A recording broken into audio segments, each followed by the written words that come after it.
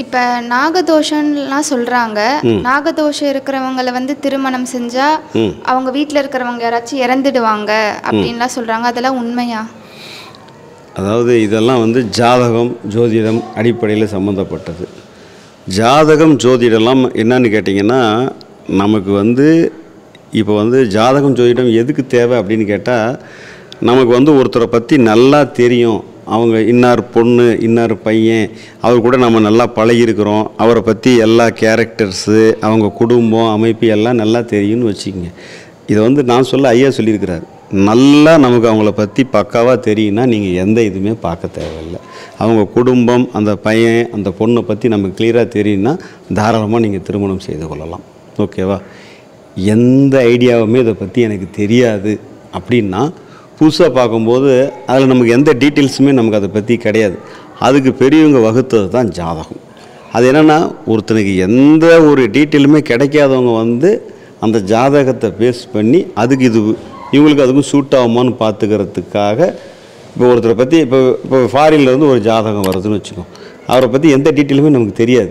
So இப்போ அதுக்கு எப்படி நம்ம தெரிஞ்சுக்கிறது அப்படின்னா ஃப்ரெண்ட்ஸு சர்க்கிள் எதுவுமே அவங்கள பற்றி நமக்கு தெரியாது அப்படின்னா இந்த ஜாதகத்தின் அடிப்படையில் அதுக்கு இருக்கிற பேராமீட்டர்ஸ் பிரகாரம் அதுக்கு வந்து பெரியவங்க ஒரு வகுத்து ஒரு ஃபார்முலா கொடுத்துக்கிறாங்க. அதுபடி பொருந்தி வந்ததுன்னா அதை திருமணம் செஞ்சுக்கிட்டால் நல்லதுன்னு சொல்லிக்கிறாங்க. நமக்கு எந்த டீட்டெயிலுமே ஒருத்தரை பற்றி தெரியாதுன்னா அதுக்கு ஜாதகத்தை பேஸ் பண்ணி போகலாம் ஒருத்தரை பற்றி நமக்கு நல்லா கிளியராக தெரியும்னா ஜாதகம் அவசியம் இல்லை இப்போ திருமணம் செய்கிறவங்க வந்து செட் ஆகலைன்னு சொல்லிட்டு சீக்கிரமாக டைவர்ஸ்லாம் பண்ணிடுறாங்க. அந்த காலத்துலலாம் வந்து கல்யாணம்னு பண்ணி வச்சுட்டா கண்டிப்பாக அவங்க கூட தான் வாழ்ந்தாகணும். என்ன ஆனாலும் வீட்டுக்கு வந்துடக்கூடாதுன்னு சொல்லுவாங்க. இப்போ டைவர்ஸ்லாம் நடக்குதே அதுக்கு அது நல் அது வந்து நல்லதா இல்லை அந்த காலத்தில் இருந்த மாதிரி இருக்கிறது தான் கரெக்டா இல்லை அதாவது பழசு வந்து எப்படினாலும் பரவாயில்ல. நமக்கு அந்த வந்து அவங்கள நமக்கு இவங்க கூட திருமணம் முடிஞ்சு போச்சு. கடைசி மட்டும் இவங்களை பாதுகாத்து எப்படியோ ஒன்று கொண்டு போக வேண்டியது நம்ம கடமைன்னு சொல்லி இருந்தாங்க. அன்னைக்கு வந்து அது அது தப்பாக ரைட்டாங்கிறத விட ஓரளவுக்கு அது ரைட்டுங்கிற மாதிரி தான் இருக்குது. ஏன்னா அதுதான் வந்து எப்படி பார்த்தாலும் வந்து இப்போ ஒருத்தர் வந்து ஃபிசிக்கலாகவே ஒரு ட்ரபுளே ஆகிட்டார் ஒன்று லேடியாக இருக்கலாம் அல்லது ஜென்ஸாக இருக்கலாம். அதுக்காக அவங்க வந்து அவங்கள லைஃப் பூரா அவங்களுக்கு டேக் கேர் எடுத்து பாதுகாத்துக்கு பாதுகாத்து அவங்க வாழ்நாள் முழுவதும் கூட ஹெல்ப் பண்ணுறாங்கன்னா அதுதான் சிறப்பு.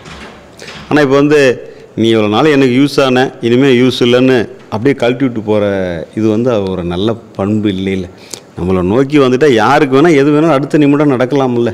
இயற்கை பிரகாரம் யாருக்கு என்ன நடக்குன்னு யாருக்குமே தெரியாது. அடுத்து என்ன நடக்குங்கிறது யாருக்காவது தெரியுமா? ஸோ தெரியாது. இப்படி ஒரு நிலையில்லா தன்மை தான் நிதர்சனம்.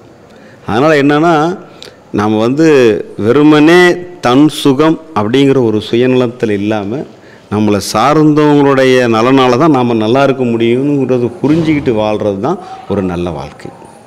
அதுக்கு வந்து அது இந்த காலம் அந்த காலம் இல்லை. எந்த காலத்துலேயும் நீங்கள் வந்து நீங்கள் வந்து அடுத்தவங்களுக்கு என்ன செய்கிறீங்களோ அப்போ தான் அவங்க உங்களுக்கு செய்வாங்க. அதனால் நீங்கள் அவங்களுக்கு என்ன செய்ய முடியுங்கிறத நீங்கள் பார்த்தீங்கன்னா அது சிறப்பாக இருக்கும். அப்போ தான் உங்கள் வாழ்க்கை நல்லா அமைக்கும் Thank you.